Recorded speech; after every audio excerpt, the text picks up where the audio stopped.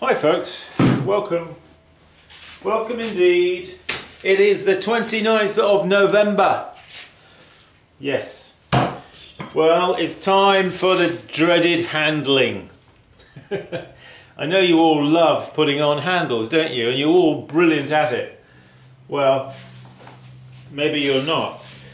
So quickly what I'm going to do is I've got some tankards here. I've got some handles I already pulled earlier on. So they, they're dried off now to, to the stage where they're ready to go on the tankards. But I just thought I'd pull a few handles in front of you and just give you a few tips on how to do that because it's it is a, a place where a lot of people get very frustrated isn't it when they come to applying appendages onto pots whether it be handles knobs on lids lugs spouts all these kind of things where you're adding something onto the side of a, another pot and people get into a lot of difficulty. So I don't know if I'm going to be able to help you, but I'm going to try. Okay, so basically you want to take a slug of clay, probably about two pounds. You don't want it too heavy. Even two pounds is probably for some people getting a bit heavy. Don't have it heavier than you, than you, because you've got to hold it up here while you're pulling it, and it'll make your arm quite sore. So I've already started to pull this down. So this is a bit of a messy business, so have a sponge handy. Okay. So you want to dip your clay at this stage. I mean, I've already pulled this down, but you want to start wetting it and pulling it down and it'll begin to look like that. Okay. And then keep it dry at the top here where you hold it. Just want to hold on to that there like that. And now start to, an important thing is always, of course, have it really nicely lubricated. So I'm, I'm starting at the top, I'm pulling right off the end, okay? That's tip number one. Pull right off the end, don't stop, don't stop there, otherwise it'll just build up a bigger piece on the end. Okay, now I, I use the, here the, this the rabbit here with the ears. The eye, the eye of the rabbit, okay, is the cross section of your handle. All right, just think of it like that. And it wants to look like an, an eye. It's sort of elliptical shaped, you see. All right. So pulling it down and I'm, I'm, I'm holding it like that and I'm, I'm turning it, pulling it once like that turning it, pulling it like that. Okay, and then I, I can change your, you can change your grip a little bit, like this, not just like that, but like that. Okay, and turning. If you really start doing it in earnest, you'll you'll develop your own style of doing it. Okay, so pull it down like that, and then you lay it across the board like that your ware board. And now here's a tip. Make sure that your ware board is, is hanging over the side of your table by half an inch or something like that. Okay, because we're going to want to chop these off like I'm about to do now. To do that I want to use the side of my thumb here, okay, not the front, the side. And I'm going to chop it off perpendicular with with, with, with to the length, okay? So, like that, okay? Are we in the picture? Are we in the, yeah, sort of, seem to be. Okay, so, let's just bring this, you see each time you, each time you do a handle, you want to pull down a bit more clay from, from higher up here you want to then pull some of that down, you see. and you extend it down. You notice keeping it nicely wet. You must not let it get dry. You let it get dry at all. You know when you're throwing pots, what happens? What happens if the pot gets dry when you're in the middle of, of throwing a piece? Well, we know what happens, don't we? The pot bites the dust. Well, the same thing's going to happen with your handle. If you let it get dry when you're pulling it, it's just going to pull off in your hand. Now, here's a thought I've had. Make of it what you will. A lot of people, I notice, throw their pots with a sponge in their hand.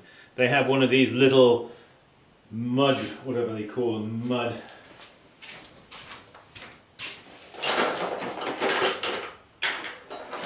Got one here somewhere. Made by Mud Tools, I think it is. It's a little sponge, and people use that to. They're sponge throwers. And I try to encourage people to give up sponge throwing because you're not developing the sensitivity of touch in your hand and fingers that enables you to discern the the slipperiness of the clay, if you know what I mean. Because you don't need to, because you've got a sponge in between. So you never really get to the sense of touch and feel in your fingers that you would have. You don't, you don't have, you don't develop it properly because you have a sponge as a go-between.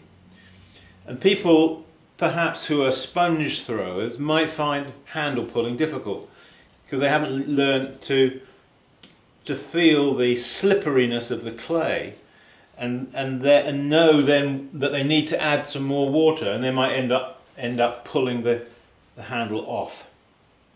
You see every time I'm pulling down like this my this this clay as it passes through my hand it passes information doesn't it? The degree of ease which it passes through it, it sends information to my brain. Well, anyway, that's what I think. Make of it what you will, as I said. Okay, so you see I'm twisting it like that, turning it. Okay, and then you want to lay it across in front of you like that, and then chop that off. And that's why we want to have the ware board here overhanging the table, because if you don't, okay, when you try and chop off, your finger's going to hit the table. So you need you need that sort of sense of uh, follow through, let's say.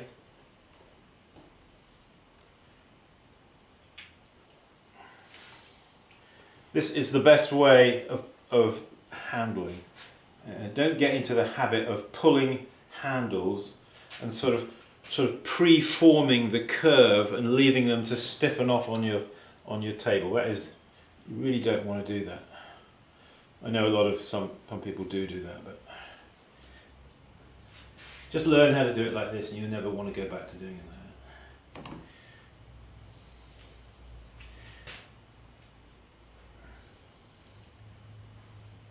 Okay, so there's a few thoughts for you on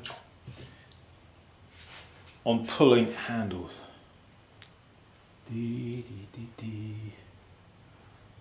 yeah yeah, people struggle a lot with handles because it is very, very touchy-feely. And um, it's so easy just to pull the clay, separate it off in your hand.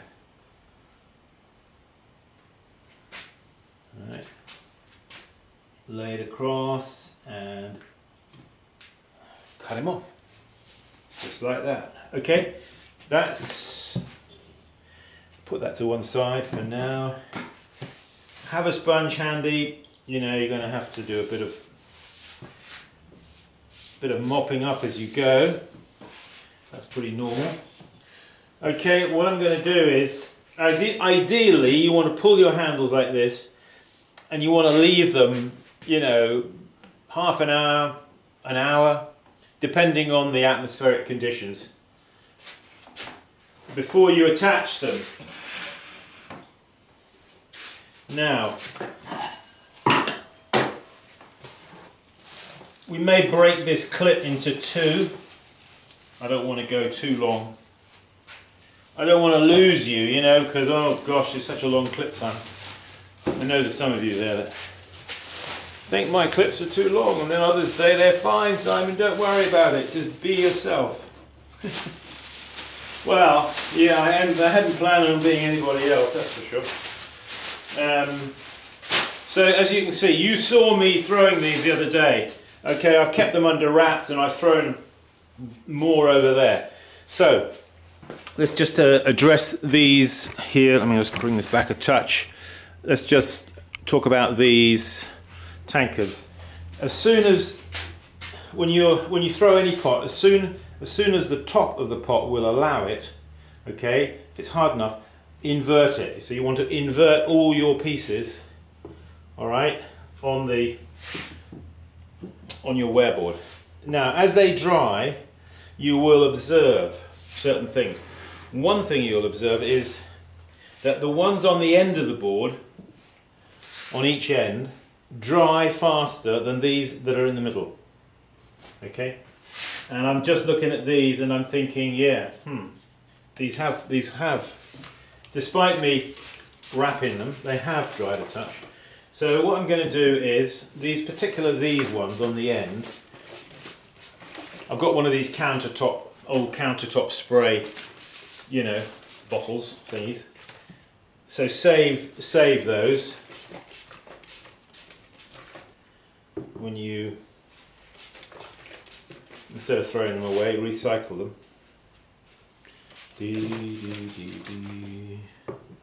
So these ones that are a little bit just a touch drier than the rest so I'm just going to do that.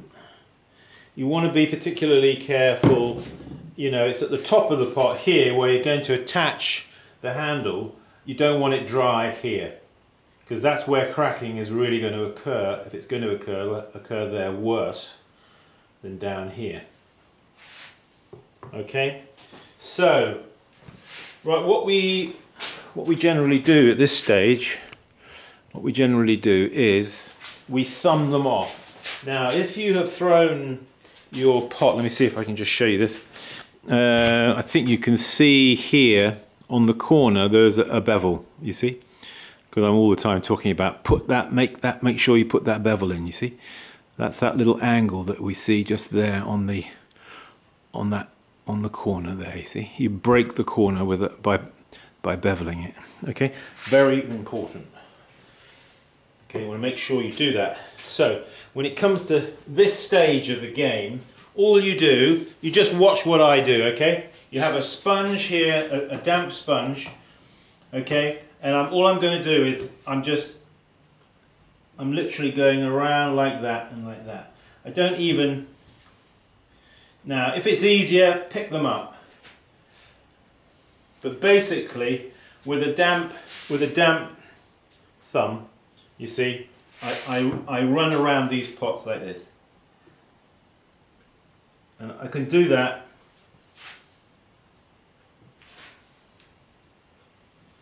Now if they're rather close together, like I have these here perhaps, a little closer than, then it can be a bit tight, but just, just spread them out a little bit, you see like that.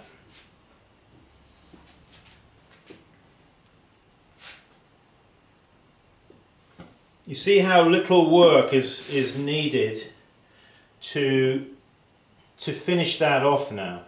And that's because I took a little extra care when I threw them by making sure I put in that, that, that, that bevel, you see. It's a little bit of work earlier on, so saves you a ton of work later. Okay. Oop. Careful there, my son. Dee, dee, dee, yeah, just need a little bit of moisture on your on your thumbs. Let me just bring that down here. So yeah.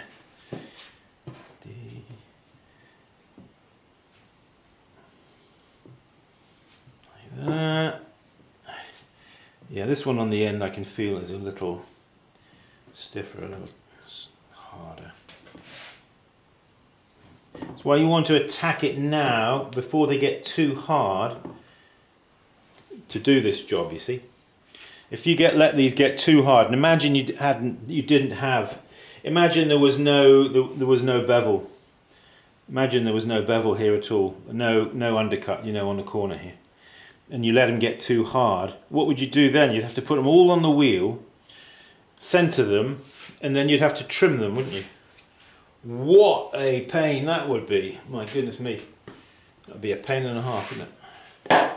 So, what we're going to need, and I'm going to stop this clip now just to break it, just to break it, just to break it into two, um, is what we're going to need, make sure we're going to need a banding wheel, okay? Because we're going to do these we're going to do these, put these handles on, we're going to put them on a banding wheel, okay?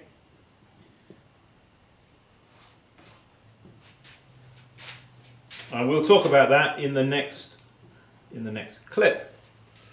Okay folks, thank you for thank you for joining us here on the 29th of November here in Millheim, central Pennsylvania. Go to my website simonleachpottery.com and um, if you haven't subscribed to my videos well don't bother and make sure you don't click the thumbs up button okay sorry I just had to say that uh, um, no of course you can subscribe if you want to or click whatever buttons you want to um, if and don't forget to ring that bell Ring that bell. If you want notifications, if you want to be notified next time I put up a video, then click the bell. If you'd rather not be notified, then, then don't. I guess that's simple. So, yeah, we put some pots up on it on Etsy shop. There's a few more than what there usually is. There's usually a miserable amount up there. I don't know, I just find it like psychologically hard getting down to photograph everything and get it all up there. Well, you know, if you don't do it, I guess you don't sell it, do you, these days? Uh, we sell some things locally, uh, but mostly goes out, you know, mail order. Just need to get more stuff up there, that's the trouble.